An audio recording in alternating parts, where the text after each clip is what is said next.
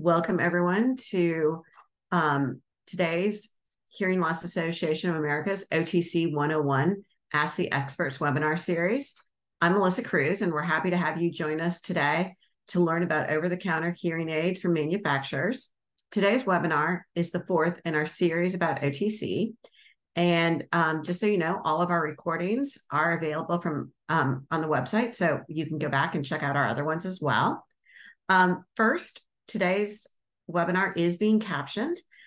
To see the captions on the webinar, you'll just need to click on the CC icon and click, click Show Captions. Um, you can change the font size in the subtitle setting. Um, please use the chat button only for technical support issues. Our team will also be sharing links and information here. Um, you can use the Q&A icon to submit questions. We're going to try and get to as many questions as we can in today's discussion, um, but uh, we will be monitoring the uh, Q&A questions as well, Q&A channel as well, and we'll be answering some questions within the chat. And as I mentioned, all of our webinars will be recorded, made available. So if you want to go back and listen to the questions um, and the answers, you can do that as well. Um, also, if you've joined by computer, the presentation should be in side-by-side -side mode. The slides are on the left and the panelists are on the right in the gallery view. You can change the size of your side-by-side -side view by hovering between the two screens and moving the gray bar to adjust to your desired size. If you've joined by mobile device or phone, your view may be different and you may have to scroll between the views to get to your desired one. Um, just a quick reminder that the Hearing Loss Association doesn't endorse specific products or services. We try and get you as much information as can as we can to make it possible for you to make good decisions about your hearing health.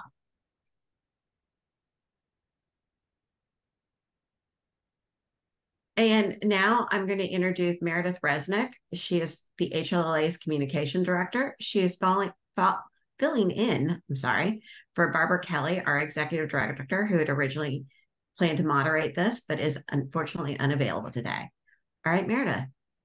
Thank you so much, Melissa, and thanks to all of you for joining us today. The Hearing Loss Association of America makes hearing health a priority and empowers people with hearing loss and all of those at risk of hearing loss too by providing reliable information, advocacy, and support. We represent all 50 million people in the United States with any degree of hearing loss. HLAA offers a community of support that all are welcome to join. If you are new to HLAA, we encourage you to please be part of our hearing health movement and to learn to live well with hearing loss. Our hearing is how we relate to the world around us, and hearing should be protected in noisy environments, treated when there's a problem, and checked regularly. Waiting to treat a hearing loss until it gets worse should not be an option. You've tuned in today, so we know that you are thinking about your hearing health or someone's you know, but many people don't do this. They don't realize that hearing is an important part of overall health and wellness. Remember, there is no such thing as a small hearing loss. If it gives you trouble or if your family tells you it gives you trouble, take action. In 2022, the FDA opened a new category of hearing aids called over-the-counter hearing aids. This is in addition to prescription hearing aids that you could, would get through an audiologist or a hearing instrument specialist.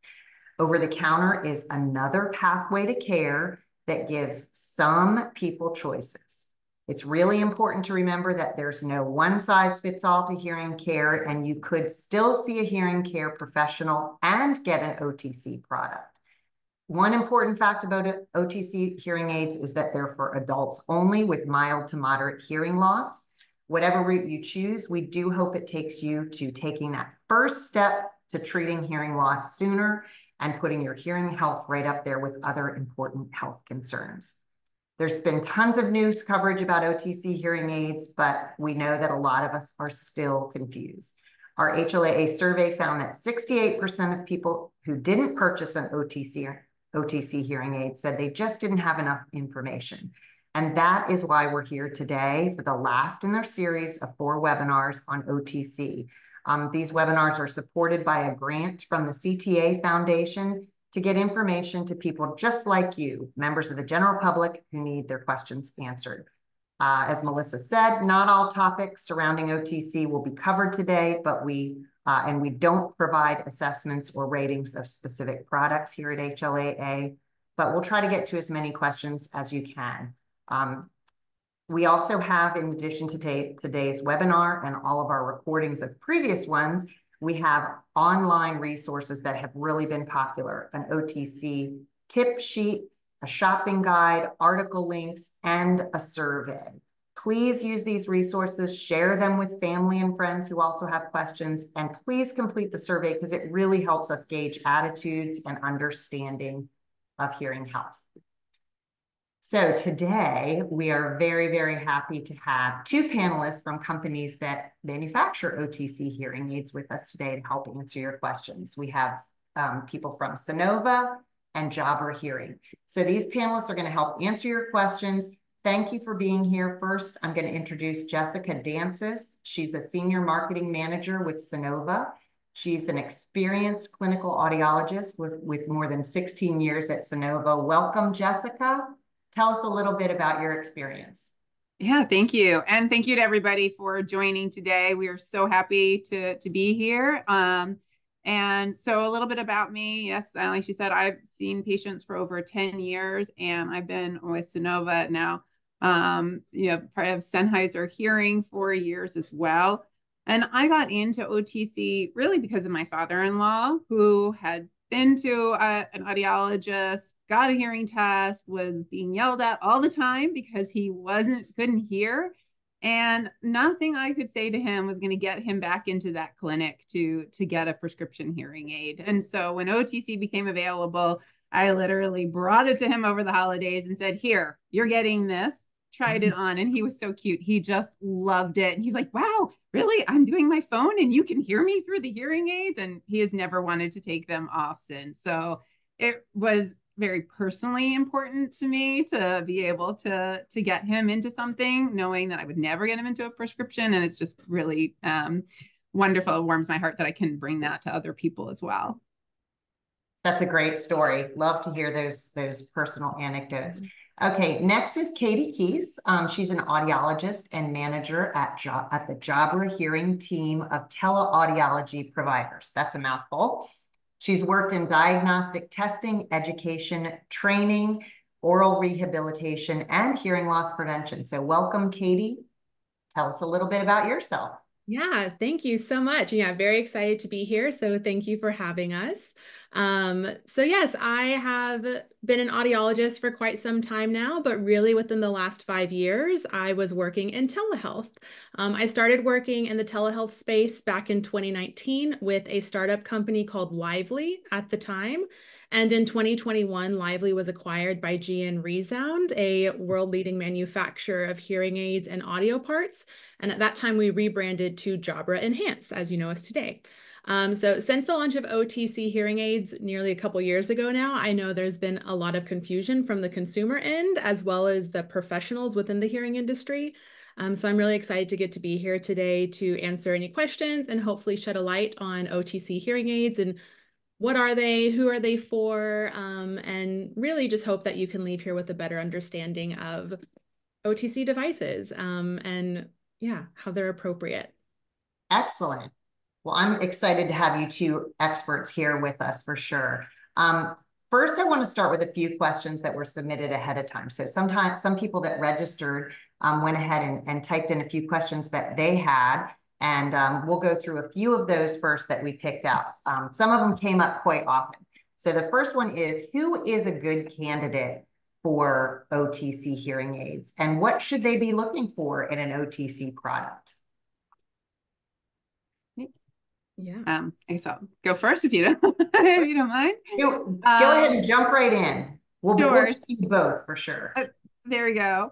Um, so, of course, the FDA says that um, OTC is for people with perceived mild to moderate hearing loss, uh, for, as you had mentioned earlier, for adults. So, you know, perceived, it means that you are noticing that you're having some trouble, right? Um, you're hearing, you're having trouble hearing in background noise.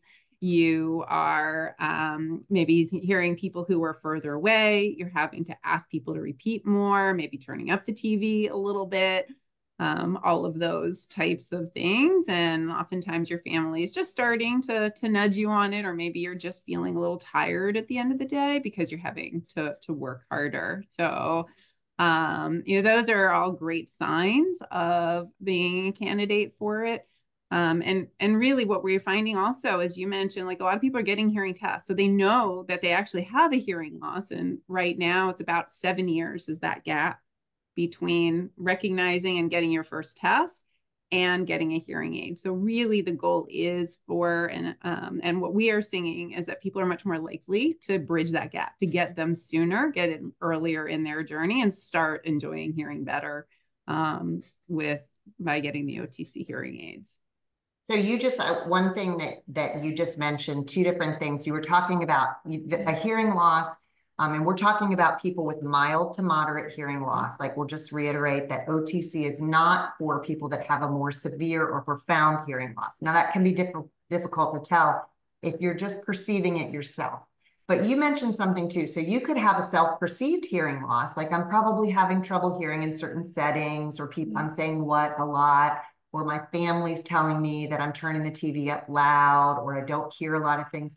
But you could also be somebody who got a hearing test and knows that you have a mild to moderate hearing loss. So um, that's kind of where it doesn't have to be an either or. You could be somebody who did see an audiologist or a hearing instrument specialist, got a test, and then still decides to get an OTC. So Katie, do you want to weigh in on, on what makes a good candidate for an OTC? Yeah. So just to kind of piggyback off of that a little bit, you know, as as you said, it's it's not um it's either or. So if you have that perceived loss or if you have a diagnostic a diagnosed loss, um either can be fine as long as it's not on that more um, severe to profound where maybe you need an ear mold um, and a lot more power and an OTC device isn't really appropriate but really kind of what should you be looking for in an OTC product, I think there's a lot of different things you can think about. Um, and really thinking about what values are important to you. So for example, there are different form factors. There are behind the ear styles. There's an earbud, more in the ear styles. Is that important to you? Um, a trial period, that's not something that's a requirement, but I would strongly suggest that you look at an OTC device that does allow a return period. Um, I'd also recommend you think about what sort of support you're looking for. So are you looking for access to customer service support? Do you want support from a licensed professional? Um, lots of different OTC devices come with a variety of support. So what sort of support options are important to you? Um, and then again, really just back to that, what, what is your hearing loss? Um, you know, even if you do have a diagnosed loss that is a lot more um, severe than a mild to moderate loss, the nice thing about OTC is there's nothing stopping you from trying, um, whether it's, you know, finances or something like that, that's preventing you from getting a prescriptive device. But really, it's just going to be what is working for you. Um, so we like to at Jabra Enhance, for example, we we combine a lot of it. Um, we have the customer service support as well as the licensed professional audiological care, um, where we can customize and tailor OTC devices to someone's loss specifically. Um, so yeah, there, there's just a lot of different things to hmm. think about. And really, I would recommend what is most important to you um, when thinking about that. Yeah, interesting that not all OTC devices, I mean, they really run the gamut in terms of price and in terms of features, it seems like, and also in terms of support um, and return policy. You mentioned that. We actually um, lobbied for that with at uh, HLAA to get that include included in the requirements. It wasn't included in the FDA requirements, but if there is a return policy, it needs to be stated on the product. So we recommend that you, just like you said, Katie, you do not buy an over-the-counter hearing aid without a return policy and a good long one so that you can try it in different settings because it may not be an instantaneous thing. You know, you might not be able to tell right away if it's going to help you. Absolutely. Yeah. Excellent. Excellent information. Um, another question. Uh, how is the OTC market going so far from your standpoints of your companies? And what can you tell us about who's buying them and at what rates, return rates, anything you can tell us? And this is, we got this um, a couple times from registrants, and we get this from the media all the time. And there's really not a lot of information out there yet. So what can you tell us? Yeah, um, I, I can go ahead and jump in here. Um, so one thing that makes my viewpoint a little bit different is I mentioned that when I first started at the company I'm currently in, we were called Lively and we did prescriptive hearing aids. And then when regulations changed, we changed our model to OTC devices. And it was really interesting to see how many people didn't realize that we weren't already OTC devices when we were prescriptive devices. Um, we have a receiver in the ear or a receiver in the canal style. And so with it being a GN ReSound device, a lot of people just kind of there there's a lot of confusion on what's prescriptive and what's OTC. So from our viewpoint, our market didn't really change much as far as consumers who are coming to us purchasing because they either already thought we were OTC or they still think we're prescriptive. So we definitely let them know we're OTC. Um, but as far as, you know, kind of like what Jessica was saying a little bit, there's that like seven year gap between people finding out they have hearing loss and doing something about it. I don't have the data to support it, but just from my personal experience over the past several years, I feel like people are coming to this model a lot sooner. Um, I'd like to think we're getting to people a lot quicker because it's not as scary, um, I think. And it's something, again, we offer a 100 day trial period. And so with that, people go, okay, I've got a safety blanket where I can, I can try this out. And if it's not for me, that's okay. Um, and also I come from a group of we have a team of about almost 40 audiologists and hearing aid dispensers and we'll be the first to tell you if otc is appropriate or not. Um, we have a kind of one size fits most model and then more of a customized one where we can make programming adjustments and customize it and tailor it to your hearing loss, whether that's through us um, on the license side through the software, or we have an app that allows you to make customization as well. So as far as kind of who's coming to us, um, it's people who have had prescriptive devices before and are finding OTC devices very successful.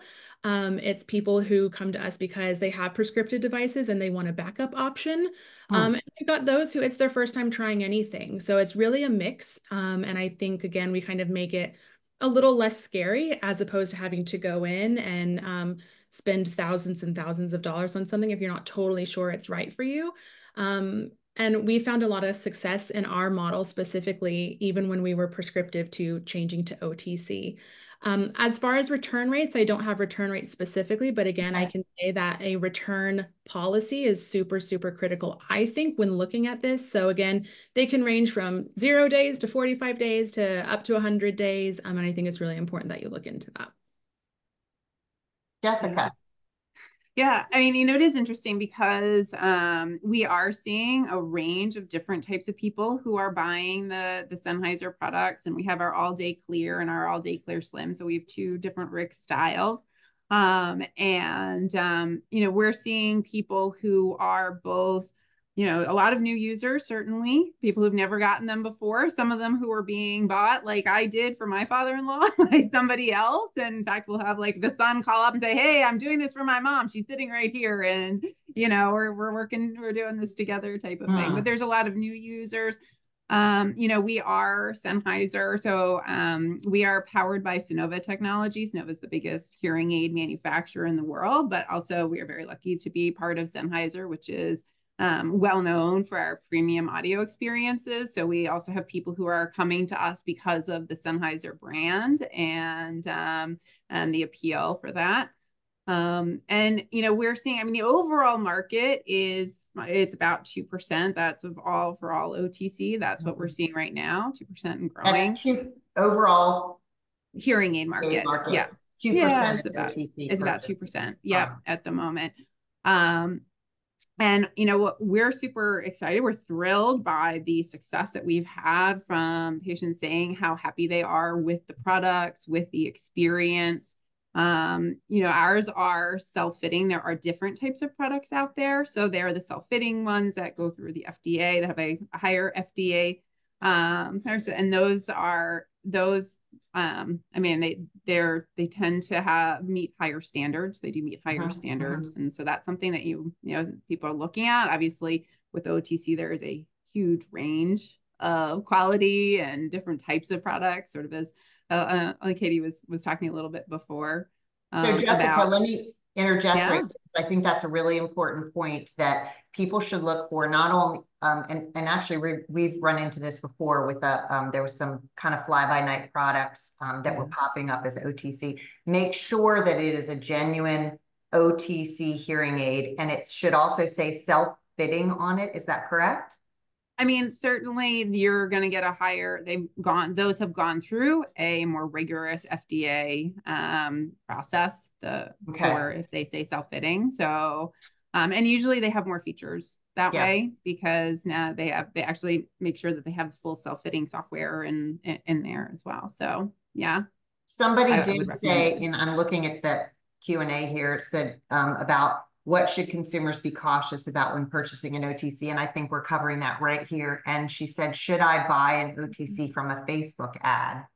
So yeah. we don't know who's advertising on Facebook, but we we do know that there um, another thing that we have recommended at HLAA is particularly for now that you stick with um, recognized brands because there's a lot out there. Um, there was there was a story, and I know we have the link on our website at one point um, from Consumer Reports that people were all kinds of things were coming up in a search for OTC hearing aids on Amazon and other other places that weren't really OTC hearing aids. They were really hearables, which is um, a different kind of, of device that's not really a hearing aid uh, at all, and um, it doesn't meet those same strict safety requirements that the FDA has spelled out for over-the-counter hearing aids. So that's a couple things right there that you need to look out for. Um, yeah. That's a yeah. great point. And I you know we have on our website, we have a whole suite. We have both a hearing screener so that you can check um, to see if you're within that perceived mild to moderate loss. We also have a full suite of information and educational support and videos on use and care of the hearing aids to make sure that you're fully supported for that. And you do want to look for things like that. Of course, we also have uh, a return um, period. As Katie was saying, that's very important to be able to do that you know, I was at a um, a convention um, not too long ago where a bunch of different OTC manufacturers were were talking, and the average return rate from um, those that were talking was somewhere between forty to fifty percent, which is pretty mm. pretty shocking. Um, I know that for us, for Sennheiser, that we have um, due to the quality of the products, and when you've got that you know, someone who's chopping on and using our informed information that our return rate is only about 20%, which is pretty much the average for um, a prescription hearing aid. So that you know that you're going to get something that um, is really quality and that you're going to, that you're going to enjoy. Interesting. Um, one question that came up, and I think we, you talked about a little bit um, with some of the signs and symptoms to know that you have mild to moderate hearing loss, is there something that you can use in terms of decibel loss to, to quantify the range of mild to moderate that would be appropriate for an OTC? Oh, Katie, you want to take this one? I'll take it. Doesn't matter. oh, yeah. I well, for anyone who's had an audiogram, um, you know, it specifically does have mild to moderate loss on there. Now that could be different, whether it's low frequency or high frequency, different sorts of um, patterns of hearing loss. So mm-hmm. again, it's kind of it's it's difficult when you're talking about perceived loss per se because you could have diagnosed loss and then you could have perceived loss.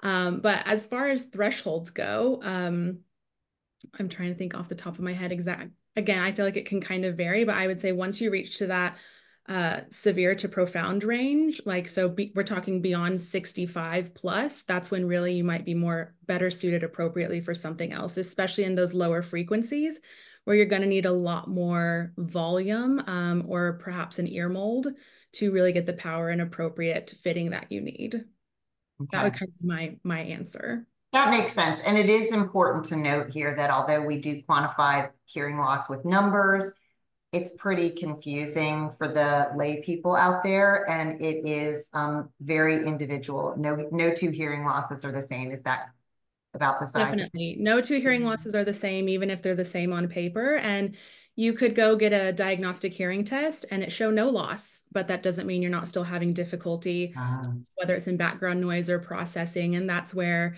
even if you have, you know, hidden hearing loss is what it's called a lot. Um, OTC devices might be appropriate for you with their directional microphones and the ability to increase that signal to noise ratio. So to put thresholds around it. Again, I know there's perceived loss and there's diagnosed loss, but again, even at the end of the day, if your hearing loss is um, not even an actual hearing loss per se, based off thresholds, doesn't mean you might not be a good candidate. Yeah. And I think that and is I, one thing that's cool about OTC devices is it opens up the door for someone to go, well, you know, I, I went to X, Y, and Z and they said I'm not really a candidate, but I'm really having difficulty.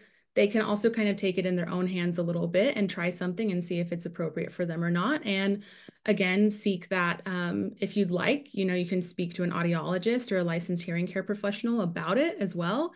Um, so you can kind of get the best of both worlds, I think. That really makes a lot of sense. Thank you for clarifying that. Um, another question that came up a few times that hopefully you guys can address here is um, OTC hearing aids connecting with assistive listening systems in public, like telecoils and Bluetooth, um, and also connecting with apps on cell phones. Can Jessica, do you want to start us off with that? Sure, absolutely. I mean, there's obviously there's a variety of different types of OTC hearing aids that um, with different features and different options. Um, I will say that, you know, with um, a lot of hearing aids these days do have some Bluetooth in them where they can connect.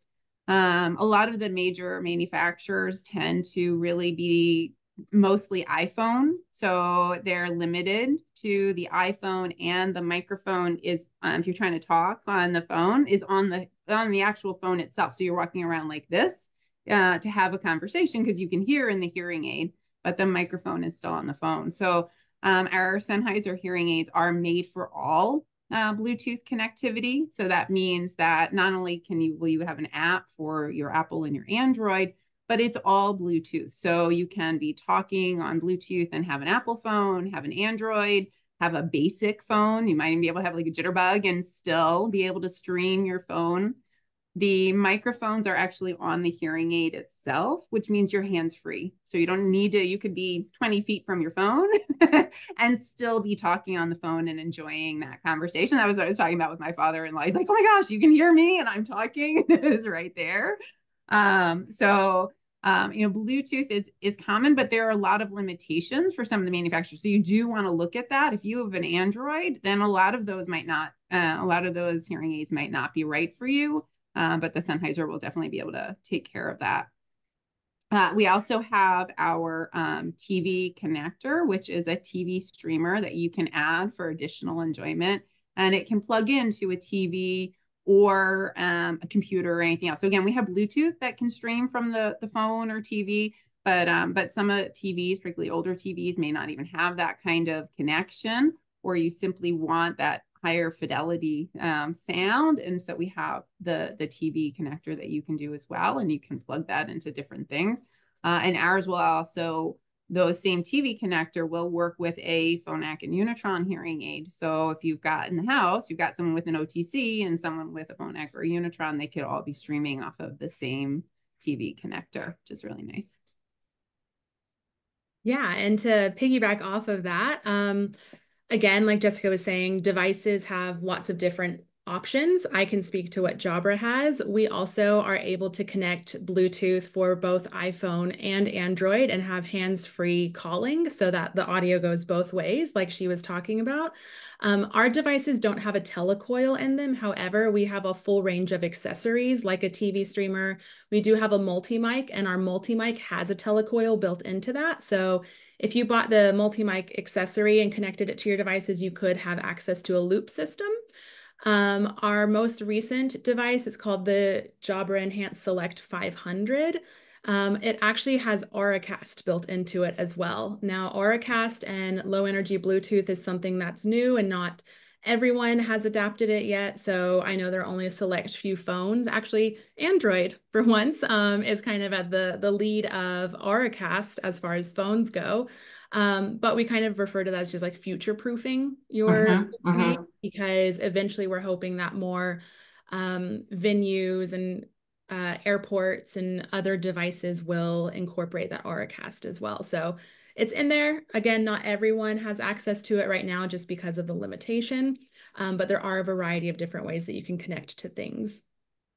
Interesting. That answers, we, we get that question a lot. Are there any that connect to Telecoil and Auracast? And you're basically saying that, yeah, there, there are. So that's good to know. Right. Um, what about price points? That's a question we get a lot, and I know it really runs the gamut. Um, we tell people probably stay away from the ones that are at the very, very, very bottom of the the um, spectrum there, uh, and again, stay with major brands. Um, but how, speaking from your standpoint, how do the prices compare um, to prescription hearing aids? What what kind of price ranges are we talking about here? Um, you know, we know that that hearing aids are often not covered by insurance, unfortunately not covered by Medicare.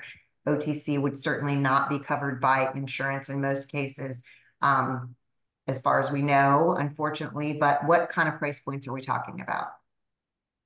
Yeah, you know, I mean, it's interesting because actually some insurances do. I know some um, our all day clears are um, on UHCH's United Healthcare Hearing um, does offer that. So if you have that, that it is covered there. That is an OTC uh, product that's covered. Ours is yes. Well, okay. yes. I mean, OTC are hearing aids. So that so some insurances and as well as if um, let's say um, you um, anything where it's an OTC hearing aid, some of them spe- specify okay, you can only get this list of products, mm-hmm. and mm-hmm. so that's what I was saying. Like UHCH, that's covered. Other insurances, it's just submit for your hearing aid payment, you know, your ins- your hearing aid, whatever that happens to be. These now are hearing aid, they are hearing aids, so you can submit that. So it kind of depends mm-hmm. on the type of insurance you have, but very often you may be able, you know, you should at least check with your insurance first. That's always the right. that's always the recommendation is just check with your insurance and and right. they'll be able to tell you um if you have coverage or not. And as you said, there is a huge range in prices. Uh, I mean, I've certainly seen everything from $50 to a couple thousand dollars in terms of OTC hearing aids.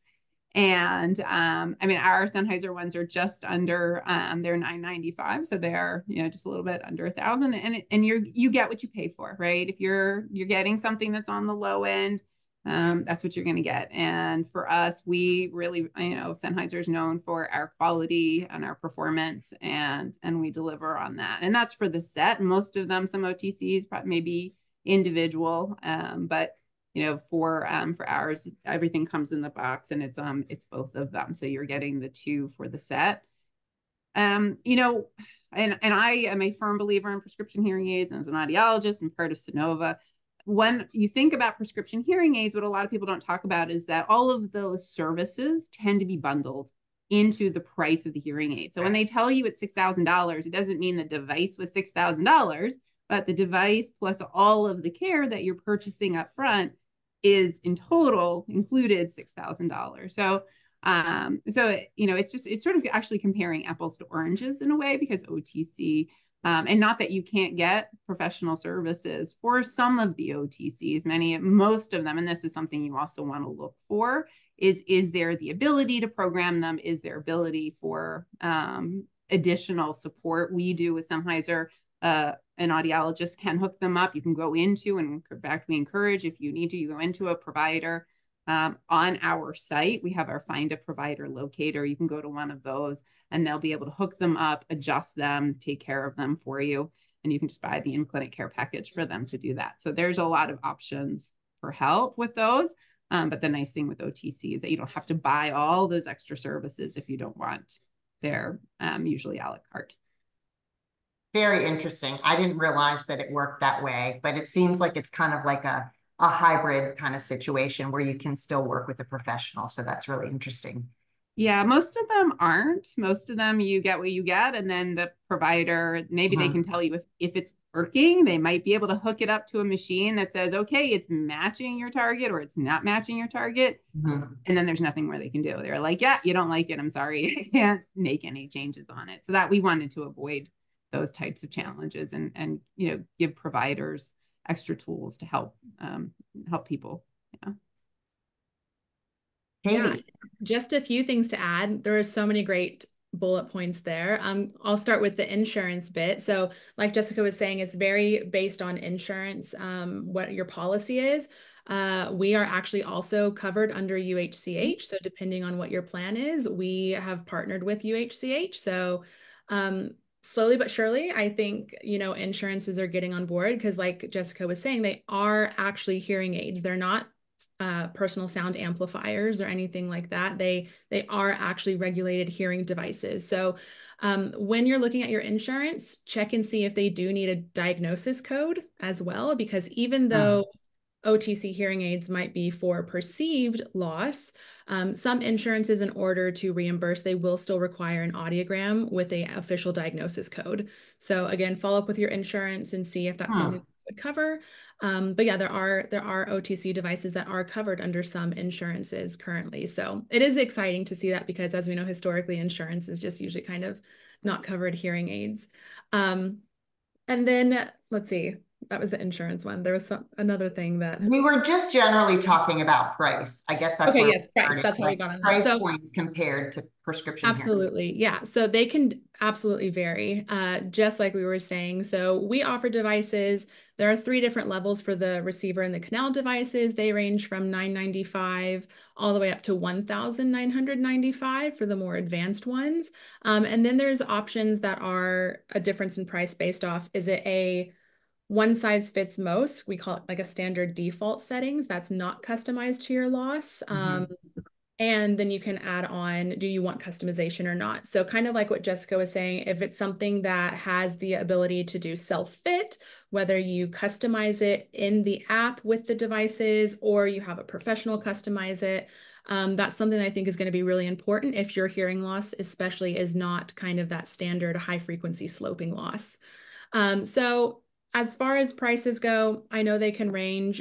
Like it's already been said, you can definitely get what you pay for. If it's anything below about $500, I'd really want to make sure that it's not a personal sound amplifier and that it is mm-hmm. actually an OTC hearing aid. Um, because I know marketing sometimes can be confusing for the consumer out there.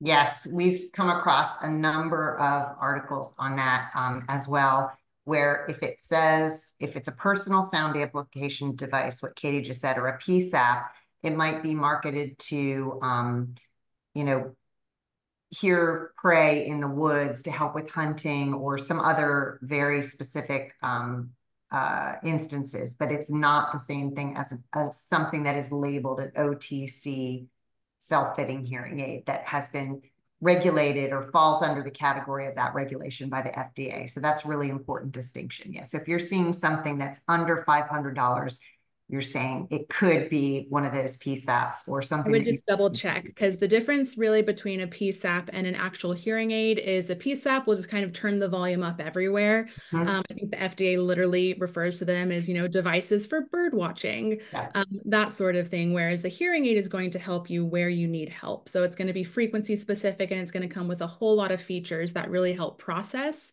sound so that you can hear it clearly and where you need help and rather not just make everything louder for you. That is such a good way to explain it. You guys are, are hitting the nail on the head here. I love it. Um, another question that we got a couple of times is, um, can over-the-counter hearing aids work for tinnitus? Hmm.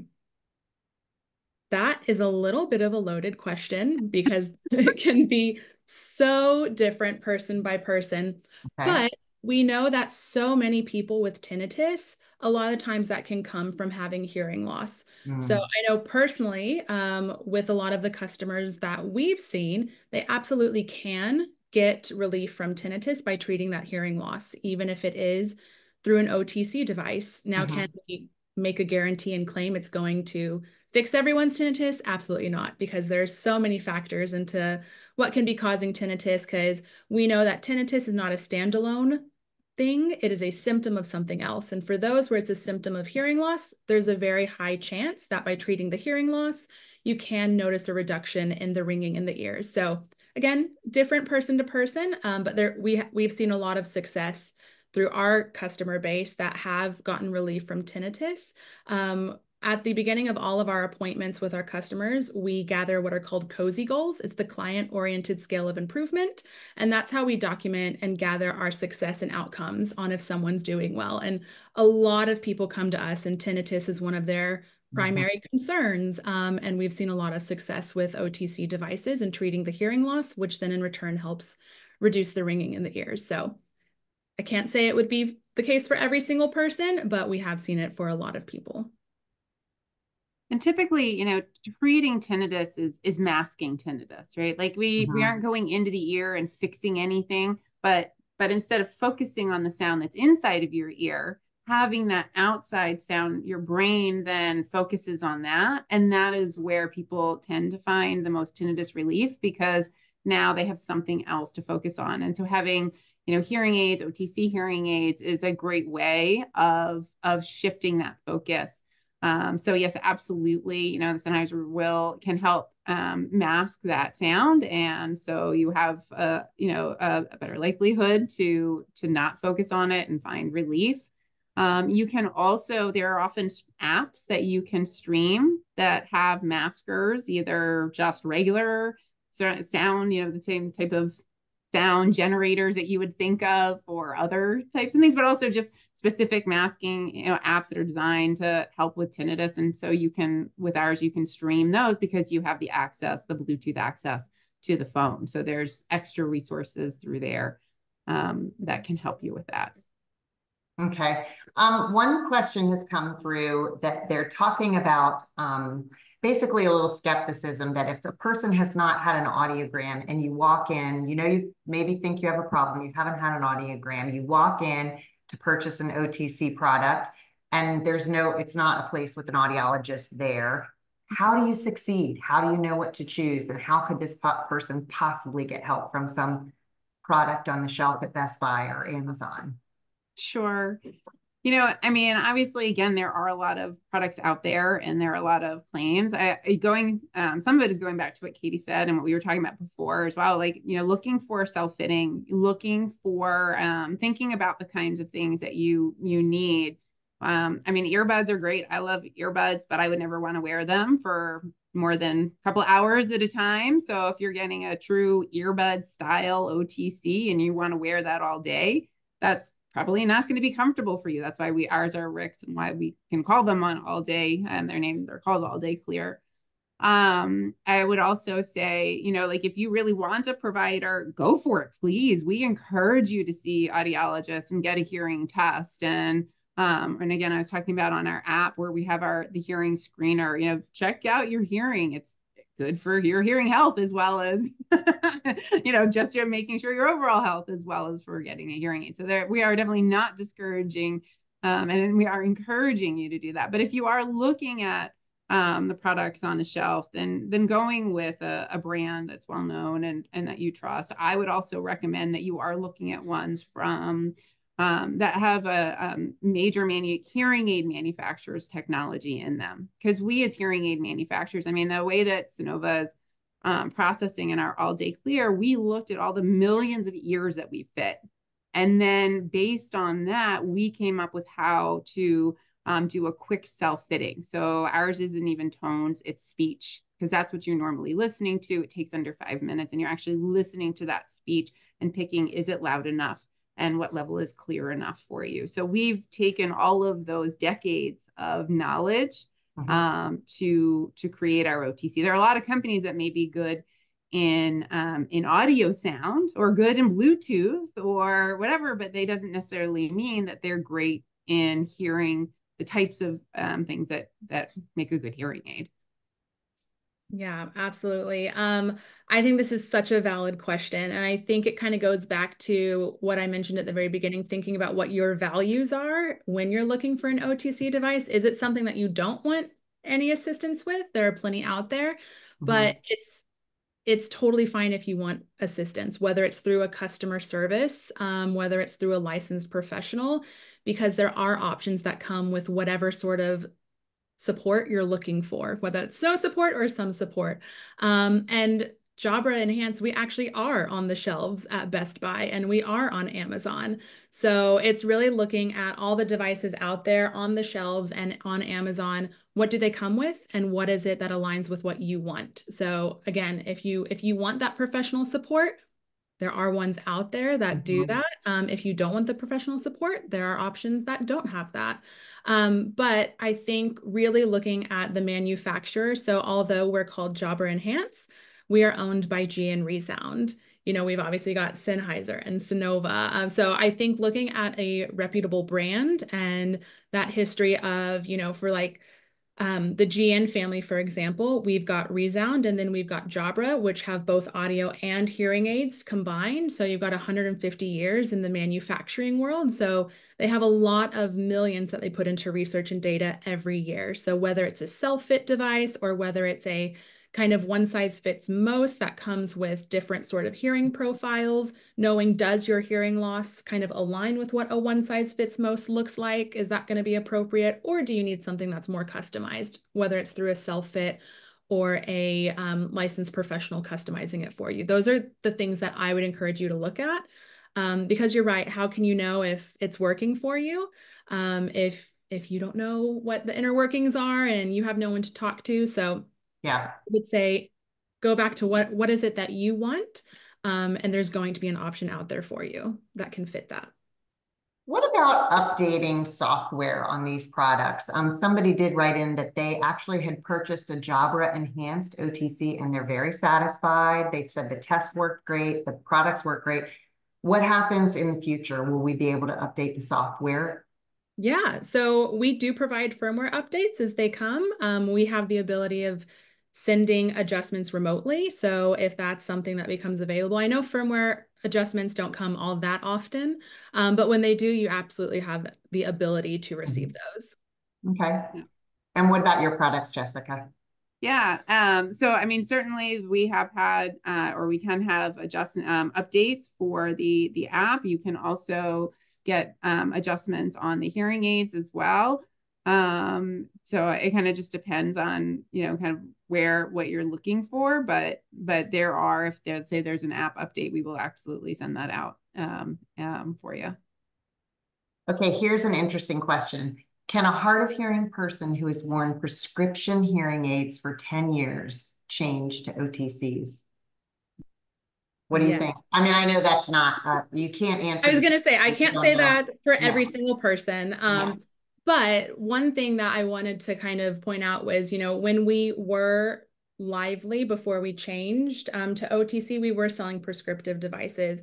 And we still have a lot of repeat customers who come back year after year and are now purchasing an OTC device um, and doing really, really well with that because there are FDA regulations for what an OTC device falls under as far as mm-hmm. output and things like that. But as far as features go, um, our devices have so many features, just like a prescriptive device. The difference is, um, you know, predominantly the output and what we can provide as far as gain and output. Mm-hmm. Um, so I would say we have people who are on a daily basis changing from prescriptive to OTC, not necessarily because they're choosing an OTC, but maybe it's because they don't realize that there is a difference, um, but doing mm. really, really well with that. That being said, there are people who it's not appropriate for. Um, and if they have more of those severe losses, then really they need to stick with a prescriptive device that can give them the appropriate gain. Um, and yeah, at, at the end of the day, everyone's hearing loss is different. So um, like I said, it's really important to look for that trial period because if you want to try and you go, you know, I've had prescriptive devices for 10 years, I want to try out an OTC device, and you go, this isn't working for me, that's okay. You can return it and go back to what you're comfortable with. Um, and that's where that return period is really, really important. But firsthand, I can say we've had lots of customers over the past several years successfully go from prescriptive to OTC. And we've even had a handful of analog users who have switched from analog hearing aids to digital OTC hearing aids and been successful. Hmm. Yeah. There was um uh, on the Balancing Act, which is a TV show, had um, talked to, and he's actually quite fairly young. Who's a um, an audio engineer, and he had worn hearing. I think he's even had hearing loss when he was young, um, and he had worn prescription hearing aids for years and then saw because he is an audio engineer and loves Sennheiser for everything else for his audio equipment. So he switched over to um, to the Sennheiser to the all day clears, and he was talking about how much he loved them um, and how they they made a big difference. So I mean, you know, I, I definitely agree with what Katie was saying, right? You know, it's sort of what are you looking for? What kind of features do you want? Do you want that, um, you know, um, do you want the provider to be sort of hand holding you? Do you want to just, you know, more do it on your own? Um, and, and kind of look at it, at look at it from there. We're not trying to take people out of prescription hearing aids into OTC, but, but certainly they are a great option and a, a great solution. You know, that brings me to another point. Um, when you you're talking about taking people out of prescriptions into OTC, I think um, there was a lot of fear around OTC before they came before the market opened, particularly mm-hmm. among audiologists and um, other professionals who really feared that um, you know it was going to take business away from the prescription hearing aid market. Um, and talk a little bit about what you heard then and then what you're hearing now, because it certainly feels like everybody's kind of on board now. And I think a lot of the bad things that people thought were going to happen didn't come to pass. Are you seeing that? Yeah, I would definitely agree with that. Um, I, I mean, and I think it's been a progression. I think what you, if you talk to some a provider, you know, I was 10 years ago, it would be, you know, kind of the sky is falling. this is going to be the worst. Yeah. You know, it really was, there was a lot of fear around it. Um, and I think over time, five years ago it was like maybe half that or you know and and i think at this point what providers are seeing you know there was a big um talk when they talked about hearing otc hearing aids and legislation came about there was a lot of press there's a lot and, and one of the biggest problems for hearing loss is people thinking about it and realizing you know what i should do something about this. So i mean i've heard from a lot of providers that they are busier than ever. And i think it that is because they are there's a lot of more people talking about hearing aids. And there are people who are thinking about otc and going into a provider first. Um, and and we've also seen people who've seen the products on the website seen our find a provider locator and said oh you know what they're down the block let me just go see pop in and uh-huh. and talk to them and and get the you know see what they have to say so um, and we also we do sell um, at Best Buy and on Amazon, and we've seen people who bought at Best Buy and then called and said, "Hey, you know, I have a question or something," and then we have we uh, our customer service goes to that find a provider if it's not something we can help them with. We uh-huh. go to our provider provider and we will send them to someone for the expert help. So um, we're really seeing that there's a better connection, and we are our you know we are funneling when people need to to to get the help that they need. So we're making sure. Um, and I just think as in, in in general, because you've got the OTCs, more people are wearing hearing aids, um, or they're thinking about it and and starting to get hearing aids. Yeah. Yeah, I think it definitely is. It's the halo effect, right? You know, people yeah. are hearing about this OTC thing. So whether they want something or just have questions about it, it gets people talking. Um, and my thought is there are literally millions of people in the US that have hearing loss. And not every single person wears a hearing aid, but we know the importance of treating hearing loss and how it just has an impact to your overall well being. So I think if it gets people talking and interested, it's not so much taking away from prescription because prescription is always going to be there. Um, and there's always going to be a need for that but it can help fill the gap of someone who's maybe not quite ready for a prescriptive device, but they're curious about it.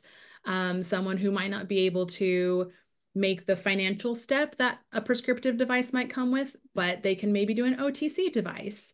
Um, and it's going to be a space that is filled with companies one way or the other. And so my thought is how great we have two audiologists here from two different brands yeah. talking that. And we have a list of ethics. We have um, you know, we're coming we're coming at it from a care viewpoint of okay, what's the best that we can do for those that have hearing loss? How can we help? How can we help bridge that gap? Do it in an ethically way. Um, whereas I don't know, maybe not every company is as ethical as you know our companies here, mm-hmm. but I'd much rather be on the side where you go, I'm a licensed professional who's going to help fill the OTC gap, um, as opposed to someone who might not have any sort of hearing background. So I think over the years, um, it was kind of like, you know, when I started in telehealth pre COVID, it was very like, ooh, taboo. And people have yeah. slowly seen, oh, there is an opportunity for yeah. telehealth to be used by a lot of people. Um, and our my my mission and my value is all about affordability and accessibility. Um, and I think that's also really much, very much aligns with OTC, with affordability and accessibility, not to take away, but to just offer another option for those who might not be going the prescriptive route otherwise. Yeah. Yeah, that's really, really, really interesting. And definitely, um, I like what you all have said about you know, it bringing attention to hearing health, because we definitely saw that. Um, tons of coverage on OTC, even if you don't really know what an OTC is, you know, you heard something about it. And I think attention on hearing health and that it's important to, to not wait to treat a hearing loss. That message is really getting out there, um, and in part because of all the news on OTC. So that really helps us all um, for sure. I'm just going to recap a couple of things um, that you all said, and I think we'll have time for one more question. Um, just because it's such great information. So there's no one size fits all. No, no two hearing losses are the same. Um, and, and even if they are on paper, they might not present the same in those people's lives. There's no one um, solution for that fits all people. So you got to make sure that you know what situations you need help in and what kind of features you're looking for.